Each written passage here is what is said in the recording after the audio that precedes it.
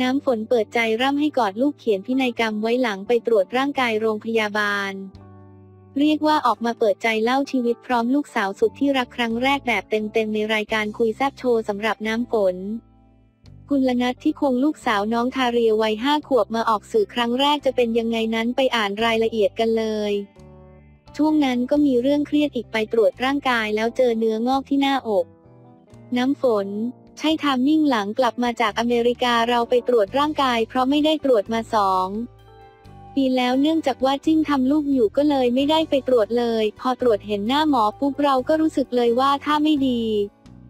ตรวจเสร็จก็ต้องไปฟังผลหมอพูดประมาณว่ามันมีก้อนเนื้อตรงหน้าอกหน้าตามันแบบหย่อนหย่อนถ้าซีดมันจะกลม หรือถ้าเป็นก้อนเนื้ออะไรสักอย่าง มันก็จะเป็นกลมๆเกลี้ยงๆเขาจะไม่สนใจ อเขาลอกเหมือนเห็นเป็นเนื้อหย่อนหย่อนแล้วเหมือนเห็นเส้นเลือดไปเลี้ยงก้อนนั้น กลับบ้านก็เสิร์ช Google แบบเละทะเลย หมออยากให้เจอหมอซวงอกเดี๋ยวนั้นเลย เราก็เลยท่าไม่ดีแล้วพังยาโทรมาทั้งวันจะเป็นมะเร็งปะวะจะตายไหมฉันตายไม่ได้ลูกฉันยังเล็กเราก็เลยบอกผลอย่าเพิ่งคิดอะไรไปก่อน มันอาจจะไม่ใช่ก็ได้ความเครียดนี่แหละจะทำให้เป็น ก็บอกให้รอเจอหมอก่อนให้เขาตัดชิ้นเนื้อมาตรวจให้มั่นใจ อย่าไปเครียดก่อน น้ำฝน พูดง่ายไงเราก็คิดเห็นแต่หน้าลูกลอยมาเลยนะ นั่งจด password ทุกอย่างในโทรศัพท์มีอะไรอยู่ที่ไหนบ้างนู่นนี่นั่นเดี๋ยวจะส่งให้แฟนแล้วเหมือนทำพินัยกรรมโอ้ยฉันจะทำยังไงอาการหนักอะ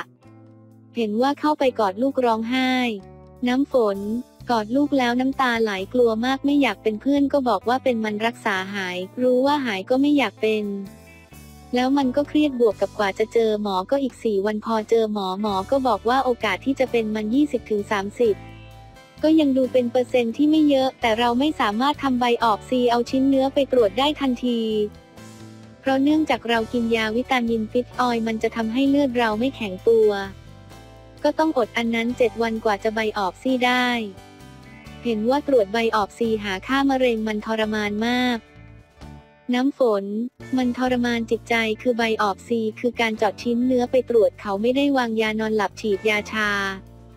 แล้วตำแหน่งที่เป็นคือหน้าอกก็เลยต้องนอนตะแคงแล้วก็ยกแขนหมอก็จะเอาผ้ามาปิดหน้าเราฉีดยาชาเราไม่รู้หรอกว่ามันคืออะไรแต่นางพยาบาลเขาจะมาอธิบายให้เราฟังก่อนที่เราจะเข้าไปว่ามันจะเป็นเข็มยาวๆ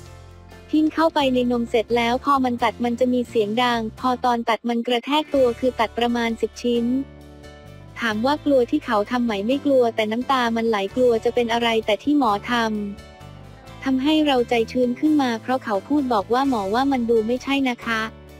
แค่หมอวินิจฉัยเห็นว่าเตรียมวิธีรักษาน้ำฝน ระหว่างที่รอผลเจ็ดวันกว่าจะได้ใบออกซีกว่าจะรอผลใบออกซีออกไปหาหลายหมอมากหมอดูหมอจีน คือทุกหมอว่ามันใช่ไหมทุกคนก็บอกว่ายังไม่ใช่